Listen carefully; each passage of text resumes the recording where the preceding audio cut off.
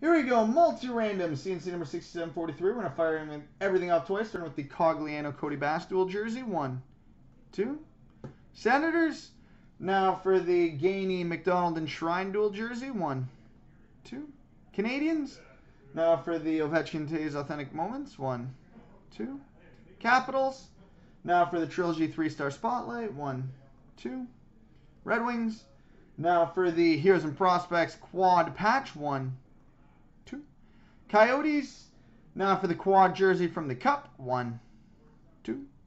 Canadiens, and now for the free stuff. So whoever lands on top gets the monster spot. Number two gets the regular free spot. And number three gets the unassigned inserts. One, two. And the monster spot goes to Jafang04, the regular free spot, Webo2, and the unassigned inserts Gozamite.